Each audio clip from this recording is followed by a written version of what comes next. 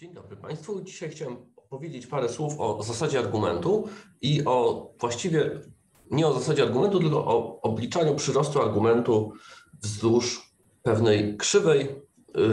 W tym przypadku będzie to linia prosta. Zadanie 3, 9, 7. 9, 7 z krzyża. Mamy wielomian P od Z równa Z do piątej plus 5z do trzeciej plus 2z kwadrat plus 4z plus 1 i pewna modyfikacja tego zadania obliczyć, ale tak naprawdę do tego się sprowadza, obliczyć przyrost argumentu P od Z wzdłuż krzywej, e, wzdłuż prostej urojonej, przebiegającej w dół. W dół. Czyli jak wygląda sytuacja taka szkicowa, poglądowa? Mamy sobie naszą,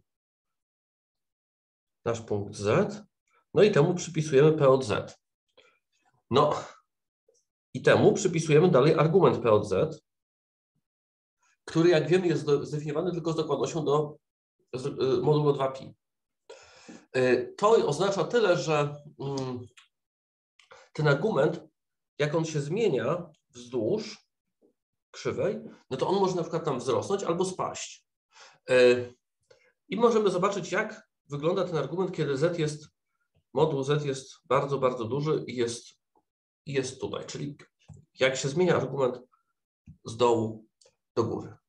Więc to jest pierwszy taki tak naprawdę sposób myślenia o tym. Ja zaraz pokażę drugi sposób. I to powinno wyglądać tak. Hmm. Kiedy ja sobie wezmę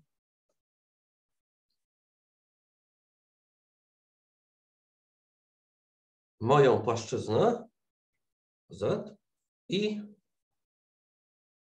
tu będą zety, a tu będzie p od z. No ponieważ to jest wykres funkcji p od z byłby czterowymiarowy, ja go nie potrafię narysować, być może ktoś y, po ASP potrafi. Mamy sobie moją krzywą i teraz tak, jeżeli z jest bardzo duże, to proszę zobaczyć, że ten wyraz jest dominujący, to jest z do piątej, prawda? Więc argument z, więc z do piątej, no to co? I do piątej to jest i, czyli jak, jeżeli jestem w tym punkcie, to jestem gdzieś, gdzieś daleko. Jeżeli jestem tutaj bardzo nisko, to to jest minus i do piątej, no to jest minus i. No to teraz, jak wygląda obraz tej krzywej? Czy ta krzywa idzie w ten sposób, tak na żółto, to jest tak na żółto, żeby sprawdzić, czy Państwo mają, nie mają jakichś wad wzroku. Mm, czy może idzie w ten sposób, czy może idzie w ten sposób, a może idzie w ten sposób. No i w różnych sposobach za każdym razem ten przyrost argumentu jest różny. Na przykład w tej sytuacji, tej, którą namalowałem na niebiesko, robimy pełen obrót przeciwnie do wskazówek zegara i jeszcze pół obrotu, czyli ten przyrost argumentu będzie minus 2pi minus pi. Jeżeli idę po krzywej pomarańczowej, to przyrost argumentu jest minus pi. Jeżeli idę po krzywej, y, po krzywej tej takiej różowawej, mm, to przyrost argumentu jest 3pi, bo robię, idę w tę stronę, czyli argument rośnie, prawda? W tym kierunku y, w tym kierunku argument rośnie, jak idę tak, jak idę tak, to maleje. Czyli jak idę tak, to rośnie i potem jeszcze robię obrót, więc jest 3pi. Jak idę tak, no to jest w drugą stronę. Prawda? Więc pytanie, jak, w jaki sposób sobie poradzić z tym, z tym przyrostem argumentu, jak go policzyć, to będzie nam potrzebne do tego, żeby rozwiązywać pewne zadania dotyczące szacowania liczby pierwiastków. Natomiast, y, czyli główna część to jest po prostu szacowanie liczby, liczby główne zastosowanie to jest szacowanie liczby pierwiastków. Na szybko, jak zrobić to zadanie, w momencie, kiedy moje P od Z to się równa Z do piątej plus 5Z do trzeciej plus 2Z kwadrat plus 4Z plus 1. No to co ja zrobię? Ja będę chciał narysować wykres tej funkcji, ale y, czyli tak naprawdę narysować, która to, która to krzywa wychodzi, tak naszkicować. W jaki sposób to robię? Czyli żeby powiedzieć, czy to jest ta krzywa niebieska, to zielona, pomarańczowa, czerwona czy żółta. Mm. Biorę sobie P od i Y, no bo jestem na prostej rzeczywistej, prawda? Na prostej urojonej, czyli tutaj to jest P od i Y. To się równa i y do piątej minus i y do trzeciej minus 2y kwadrat plus 4y plus 1 to się równa i y do piątej minus y do trzeciej plus 4y plus 1 minus 2y kwadrat. Hmm. No dobra, to teraz niech to będzie A, to będzie B. No teraz ja chcę wiedzieć, jak wyglądają znaki tych, tych rzeczy. B równa się 0, wtedy i tylko wtedy. Teraz patrzymy, rozwiązujemy te rzeczy w liczbach rzeczywistych. Wtedy i tylko wtedy, kiedy y jest równe 1 plus minus przez pierwiastki z dwóch. E, no a od y to jest równe y, y do czwartej minus y kwadrat plus 4. Mm, to równanie ma, e, pytamy się, zaraz sprawdzimy, czy to równanie ma pierwiastki rzeczywiste. Mm, mm, y kwadrat równa się 1 plus minus pierwiastek z mm,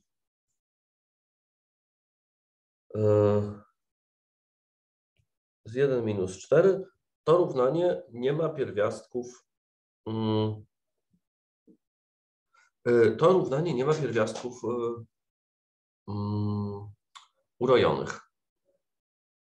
Nie ma pierwiastków rzeczywistych ma tylko pierwiastki urojone, kwadratowe, więc pierwiastek też nie, nie ma.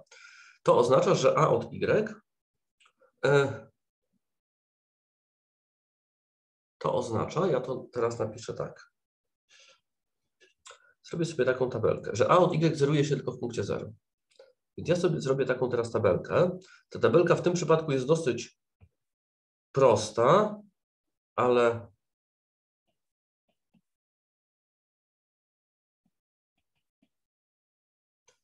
mniejsze od a, 1 minus 1 przez pierwiastek z 2. E, może ją troszkę zawężę, bo tutaj za dużo zaraz. Prosta, prosta, nieprosta, ale no. Pierwiastek z 2 minus 1 do pierwiastek z 2 do 0. 0. 1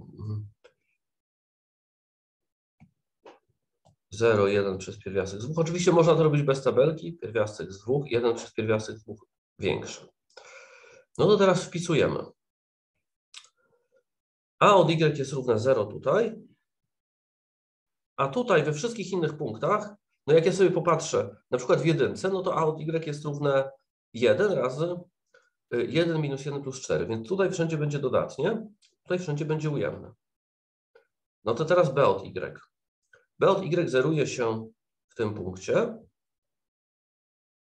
i zeruje się w tym punkcie. E, natomiast w tych miejscach jest dodatni, a w tych miejscach jest ujemny. No, to teraz ja mogę sobie zobaczyć, jak wygląda wykres mojej funkcji. Patrzę sobie na to i robimy tak.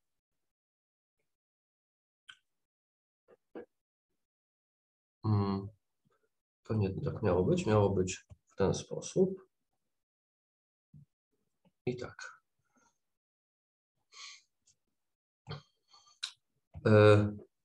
Teraz w punkcie pierwiastek 1 przez pier... minus 1, w punkcie w tym punkcie, no ja tak jak narysowałem, jestem gdzieś daleko. W momencie, kiedy dochodzę do punktu 1 przez pierwiastek z 2, czyli tutaj jest 1 przez pierwiastek z 2 na tej prostej, to ja dochodzę do miejsca, gdzie a od y, czyli część rzeczywista p jest dodatnia, a część urojona jest yy, ups, coś mi się nie zgadza. Yy, a, bo tutaj było inaczej. Część, a to jest część urojona, przepraszam bardzo.